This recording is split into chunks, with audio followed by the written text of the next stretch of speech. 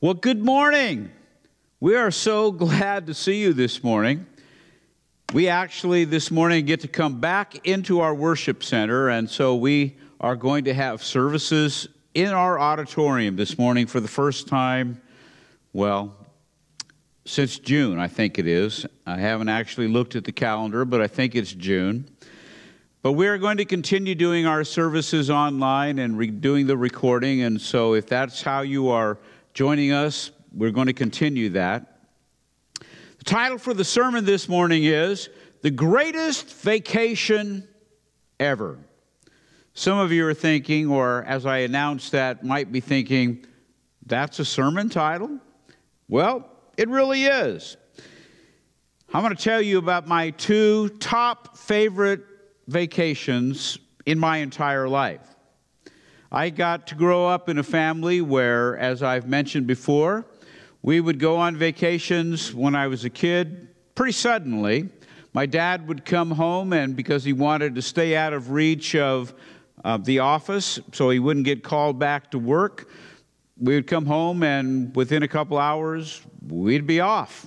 And every year, we would basically go to Colorado or we would go to Washington State and we did a lot of fishing. Um, basically, that's what you do when you have a three kids, small kids, and can't really afford to do much else. And but I want to tell you about one summer in particular. When I talk about the greatest vacations ever, by definition, these are the kind of vacations that they're memorable. They have a great impact on your life in one way or another. When I was 13, we had one of those typical family vacations where dad came home, told my mom, get everything packed, and a couple hours later, off we went to Colorado. But it was different. Because when we got to Colorado that year, my cousin, who is about three years older than I am, had his own truck. And he told my dad, or asked my dad, my mom says, How long are you going to be here? And they said, Well, we're going to be here about 10 days this time. And he said, Well, I want to take Rick. And I'm going to teach him how to fish. And I'm thinking to myself, I have been fishing since I was three years old. I know how to fish. But I had never been able to go fishing with my cousin for 10 days. And so I thought, oh, yeah, this will be great. And my dad said, okay. And so for 10 days, basically, except for Sunday because or Saturday, because they're Seventh day Adventists and you didn't fish on Saturday.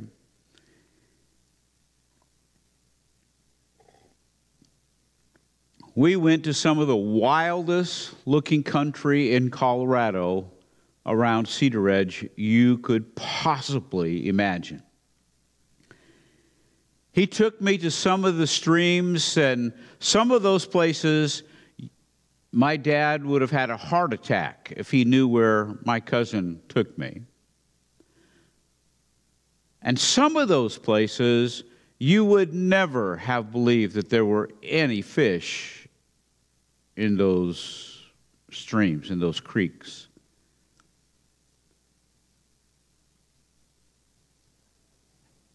And at the end of those 10 days, I could fish.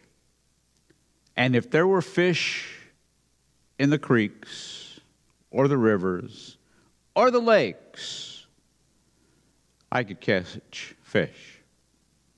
So much so that a year or two or three later, I couldn't remember what it was when I was trying to write this out, my dad looked at me. We were fishing side by side in the same lake. no more than six feet away from each other, and he said, If you catch another fish, I am going to throw you in the lake. Because after that summer, when I was 13, if there are trout in the stream or the lake or the river, I can pretty much catch them. You see, my cousin, even then, was a great fisherman. He's still a great fisherman. He could easily have gone on to become a professional fisherman. One of those guys you see on TV just catching fish all over the place. And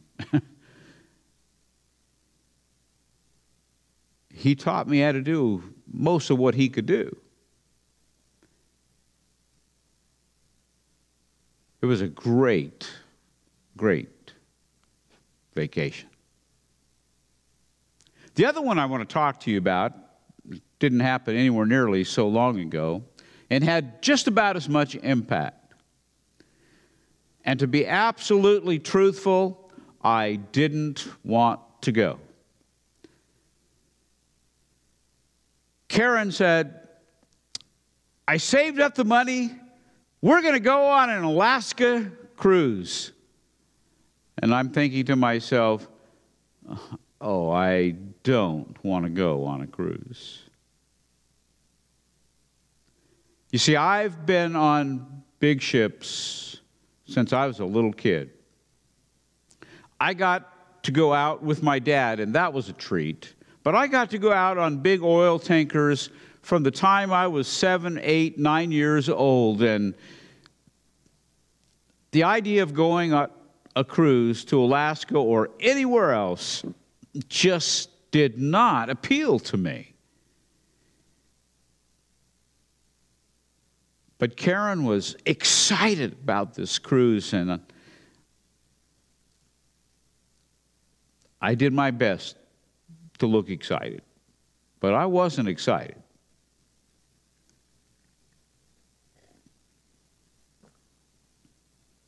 So we got on the airplane. We flew to Seattle. And boy, it was a hassle getting all that luggage off of the plane, onto the taxi, off of the taxi, and onto the ship.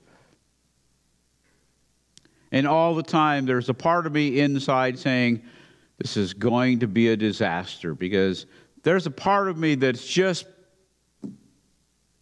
thinking, I don't want to be stuck on this ship for 10 days. I'd much rather go to a golf vacation or something. I'd rather go on a fishing vacation. Anything but stuck on a ship for 10 days.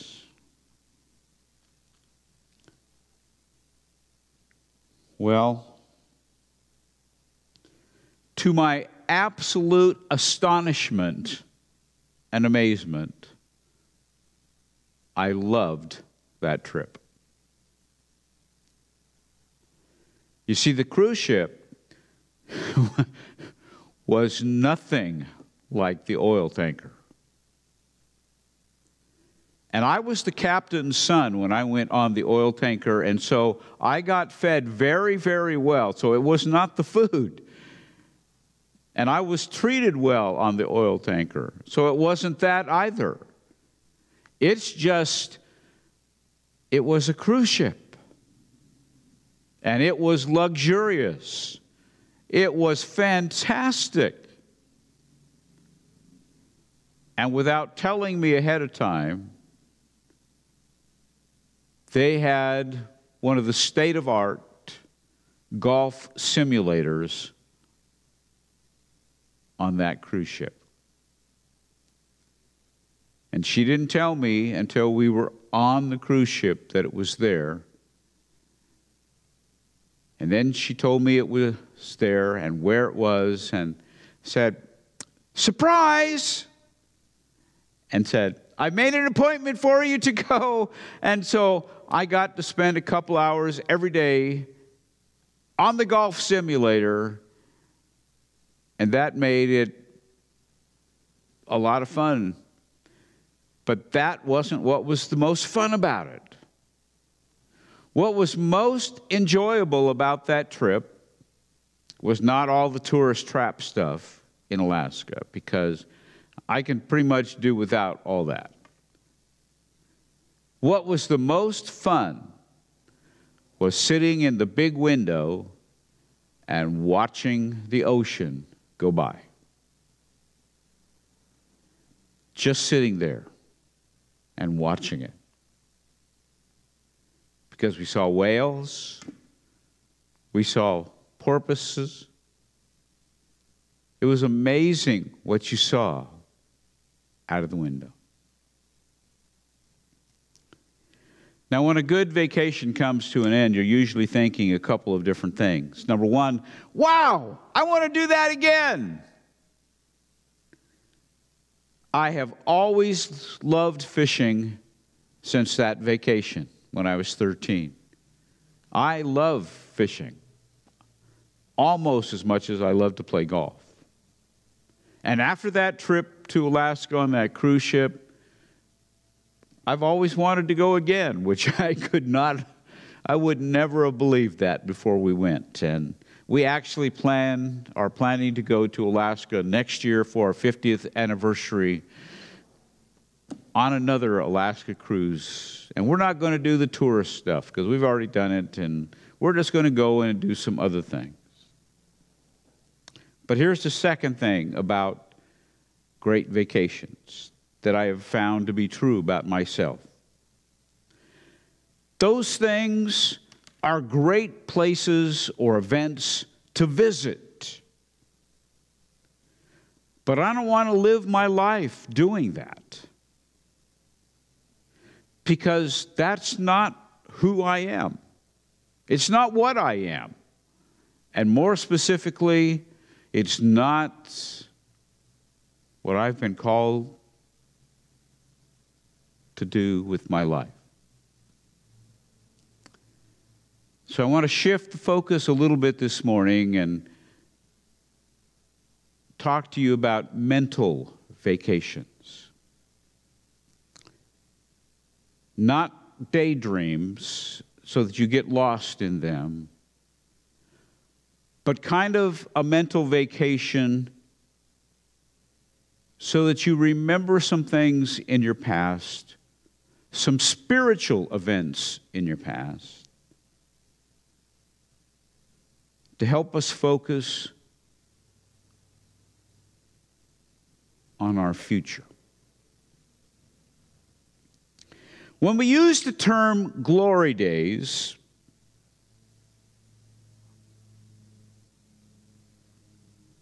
often we will think of them as, well, that's all in the past, and there are no more glory days for the future.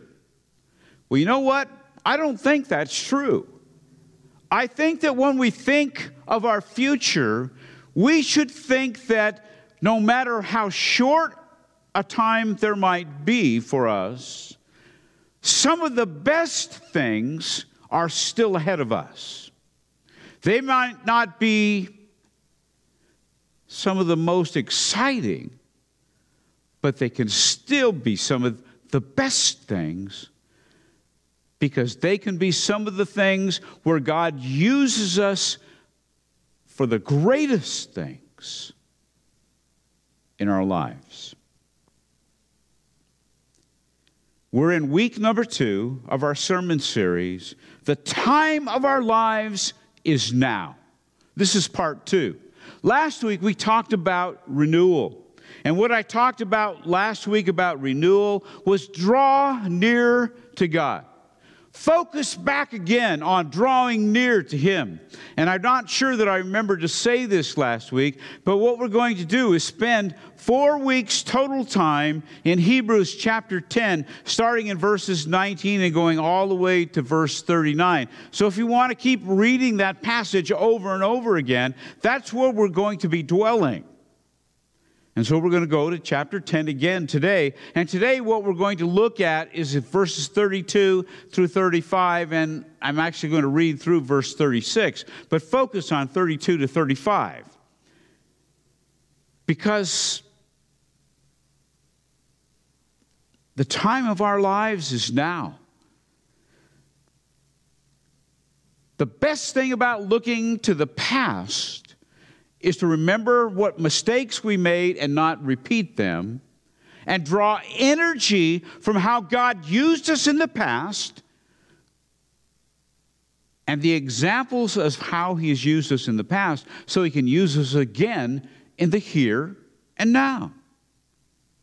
Because He wants us to use us again in the here and now and in the future, however long our future is. So, the title for today is The Greatest Vacation Ever. And the focus last week was renewal, and the focus today is reconnection. And the idea is looking back to the past to fire us up for the present. Not to be gloomy because, well, the best is over. My glory days are over, so there's no use. Hello? Be fired up because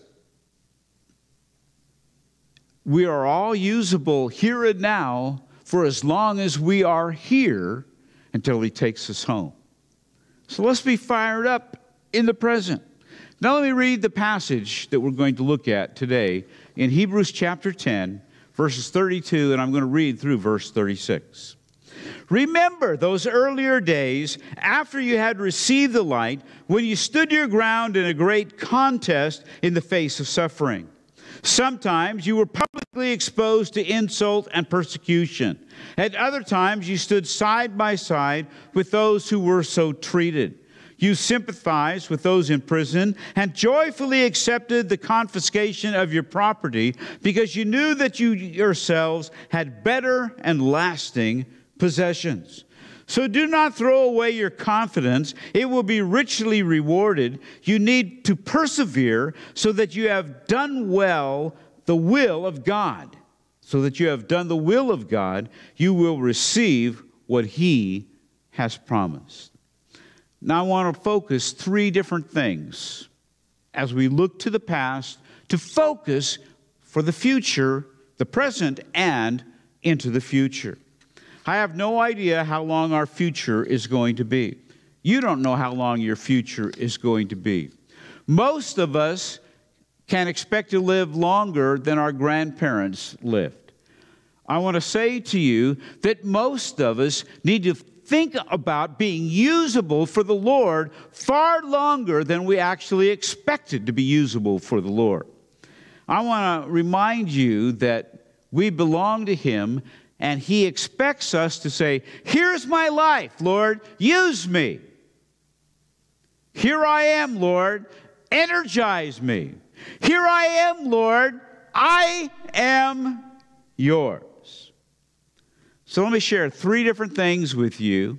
And here they are in a nutshell, and then I'm going to come back and focus on each one. First of all, remember. Second, repeat. And third, recapture. All of them start with an R. All are re. So, number one, remember. So, let me tell you a story about a guy named Tim. This is a name that I've kind of made up. It's not because it's somebody that you know or have heard of, but this his name is Tim. Now, Tim's story is like stories that you may actually have heard about. Tim was an alcoholic. He had all the problems that a person who is an alcoholic has. At one point in his life, he became addicted to alcohol, and the problem was simply that being addicted to alcohol meant he couldn't stop. When he began to drink, he would finish the bottle, of whatever it was. And then he would go find a liquor store and he would want to finish everything in the liquor store. It would affect every part of his life. Every relationship was affected.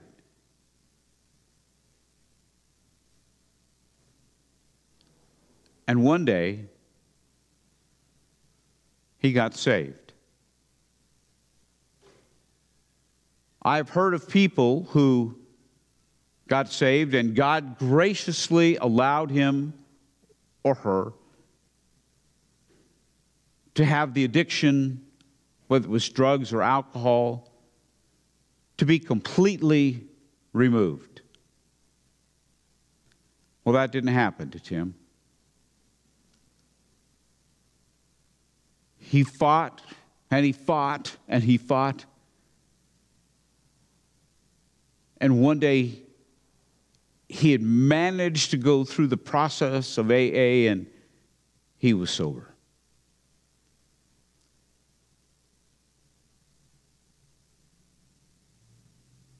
And it lasted about two years.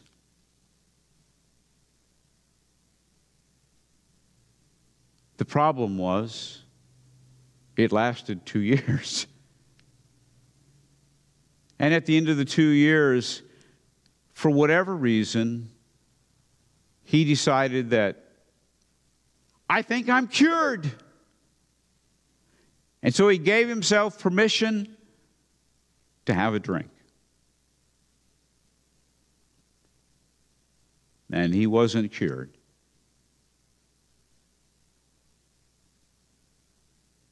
And so he promptly finished the bottle and was right back in the same destructive groove because that's usually what it means for a person who's an alcoholic.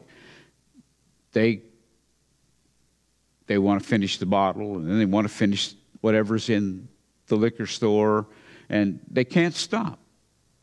That's not always true for everybody, but that generally is the case.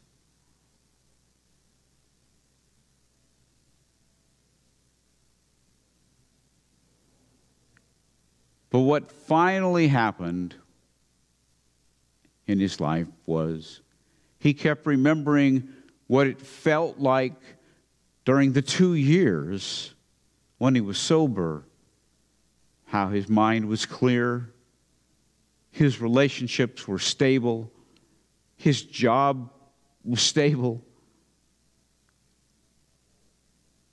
And so, because he looked back, he remembered he had enough courage to go back to AA and start one day sober, two days sober, three days sober, one month, two months, three months, six months, a year.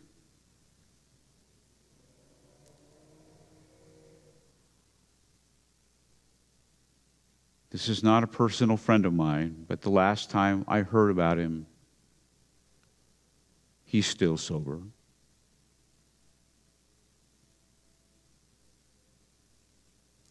There's value in looking backwards if it gives us strength to deal with today and tomorrow.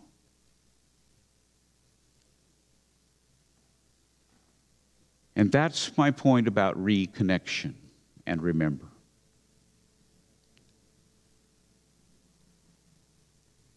Glory days, usually we have a tendency to think of that, that's the past. But when we talk about it in a spiritual sense, the idea is draw strength from what was so we have strength for today and tomorrow. Remember.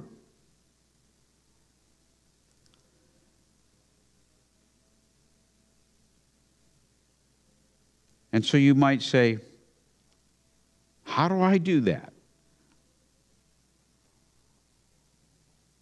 So ask yourself these questions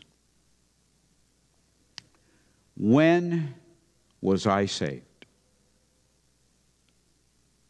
What happened? I was seven, and I have to be honest, there wasn't a radical transformation because I was seven. My radical transformations came much later in life after I was long since saved. But I remember the radical changes when I surrendered in the term, not in terms of salvation, but surrendered in terms of lordship. Yes, Lord, you're in charge. And I remember the dramatic changes when I said, Yes, Lord, you're in charge. And I remember the times when I said, I want to be in charge. And I remember the dramatic failures. So, what happened? I remember that the successes are His successes. And I want there to be more successes. So I remember that they are His successes through His power. And I want the glory days to continue into the future. I don't even know what they'll be, but I want them to continue. And that leads us to the next one, and that's repeat. I love to play golf. I love to fish. One of the things my cousin taught me was how to figure out if there are actually any fish in there. It's really simple. And I'm not going to tell you. A few years ago, while my son and daughter in law and family were still living in Clovis, and we were still living on the coast, we rented a, a house up in Shaver Lake, a condominium, and had our kids come up there and they wanted fish for dinner and it was late in the summer. Dinky creek was a dinky creek. And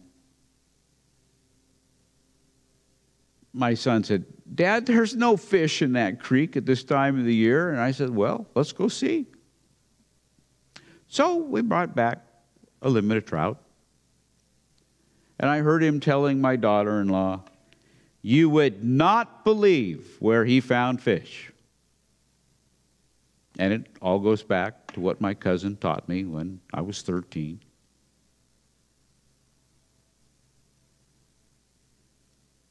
And I just repeated what I had been taught all those years ago.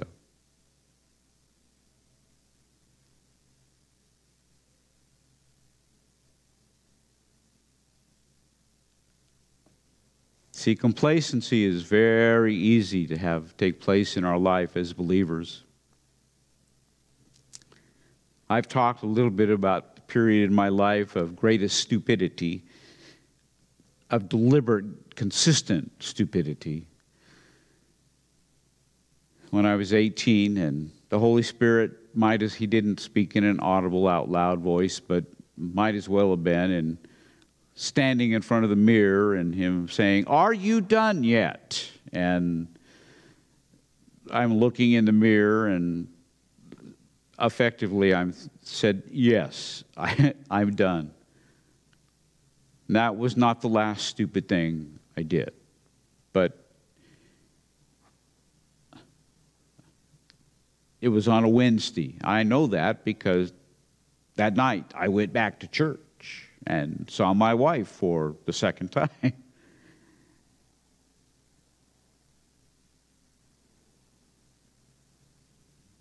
and it reminded me for this particular point as we deal with repeat of a comparison. As we seek to repeat what God wants to do through us, in Revelation chapter 2, you have one of the letters to the churches, and this specific one is the letter to the church at Ephesus. And it says, I know your deeds, the good stuff.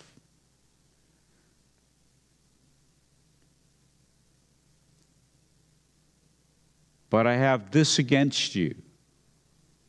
You have lost your first love. And that's the bad stuff. And then he gave them this warning Remember the height from which you have fallen.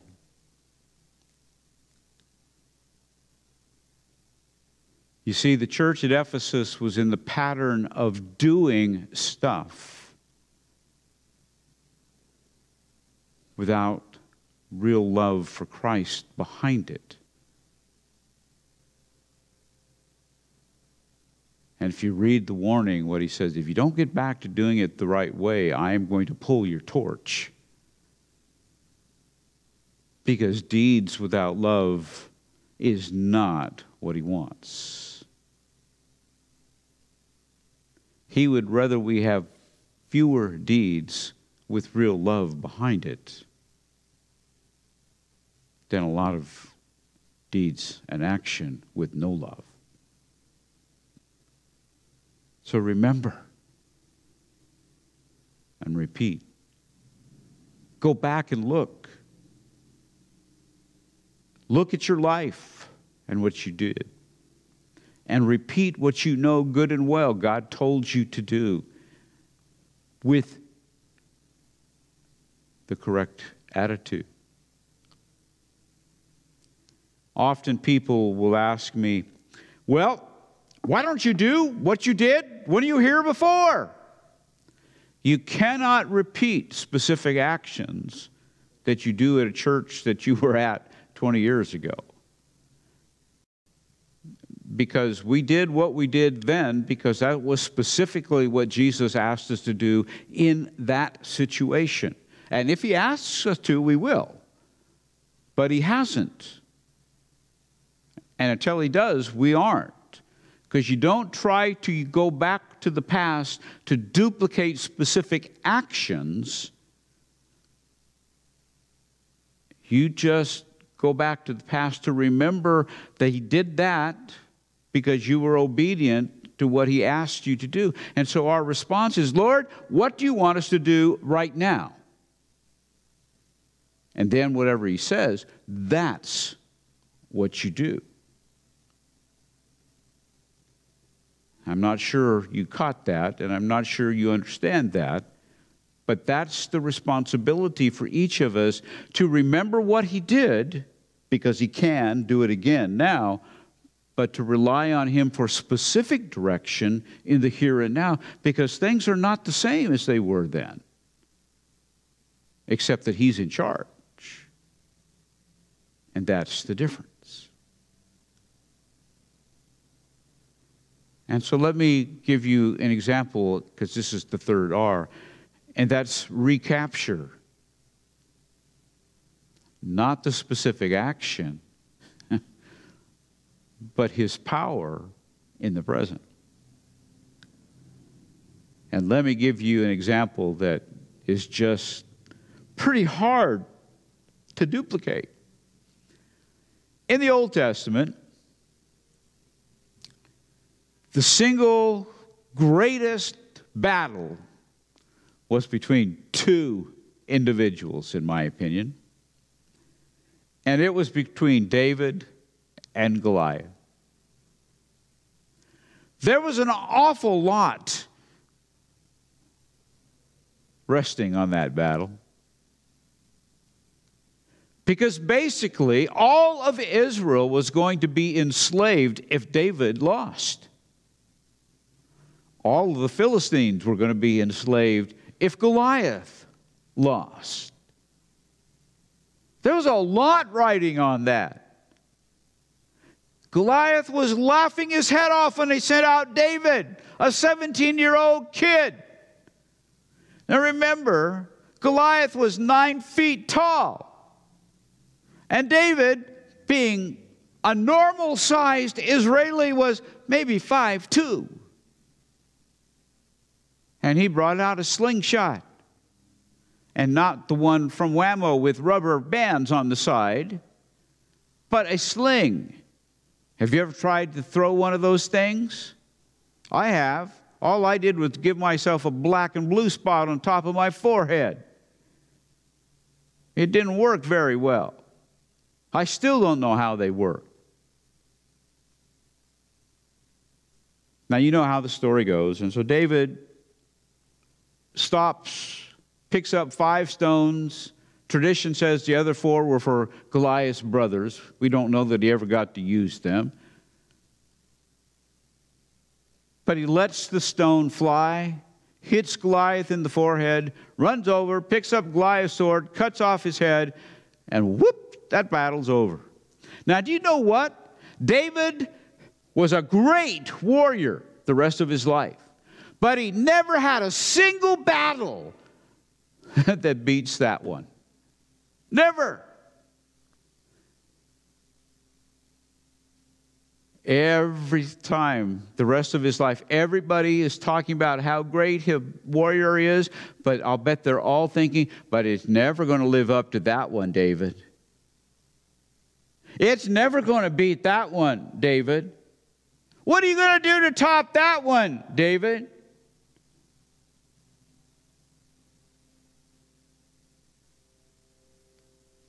So, how do you recapture that kind of glory? Well, you don't. You just have to go out and say, God, I can't recapture what you did that day. What do you want me to do this day? How do you want me to face this day? I don't even know what you've got planned yet today, God, but you do. But I'll tell you what you don't do. You don't stay at home in the palace when you're supposed to be at the front of the army leading them, because then you really get yourself in trouble. If David had gone to war in the spring like he was supposed to, the whole issue with Bathsheba and everything that resulted from that would not have happened. That's complacency. Hey, God, I've done everything you've asked to this point. I think I'm going to send the army out. I'm just going to take I'm going to take a break, God. No. You get up and you say, God, here I am today. I'm yours. Infuse me with your power. Let's go. And I'm scripture doesn't say this, so please don't say I said it did, but you could have got up as David that day and said, God, I've still got all four of these stones for Goliath's brother. Maybe today's the day to use them. Have no idea. I'm just saying, we've got days ahead of us. Let's get up and say, Lord, here we are. Let's go. Because we belong to you. I want to reconnect, God. What you did through me yesterday is not enough. And I don't want to spend all of my days fishing, playing golf, or going on a cruise to Alaska. They were great vacations. By the way, I've had some bad vacations. We're not going to talk about those. There was that hotel. it had an air conditioner, but it didn't work. And so when we opened the window, we got flooded with mosquitoes. That wasn't fun.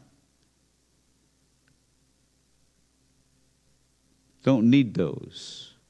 I want to remember what God did in the past so He will use me today because I say, Lord, here I am. I'm available. I want to reconnect and be recharged so you can reuse me again today. You cannot be used until, first of all, you belong You cannot belong until you are part of the family of God through the blood of Jesus Christ. If you've never accepted Him as Savior, that's the starting point. But once you are part of the family, each day we need to say, Lord, I am yours. Use me today.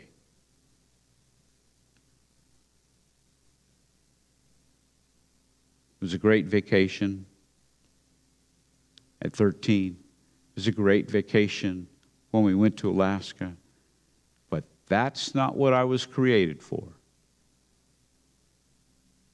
And whatever your favorite vacations were, that's not what you were created for either. And it was certainly not what we were saved for. Join me as we reconnect to be used for our glory days still to come. Father, in the name of Jesus, our Savior, touch us, grow us, and help us to be excited about being used for the glory days to come. In Jesus' name, amen.